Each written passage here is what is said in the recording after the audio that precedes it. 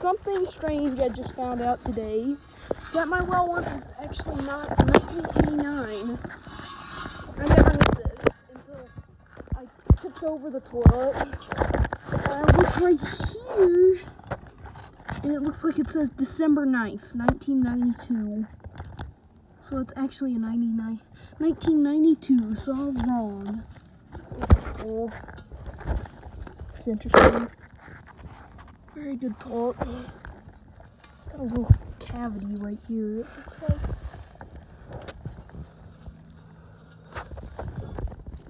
Yeah.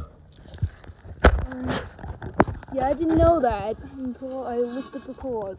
The, the tank is weird because um, tank's really strange.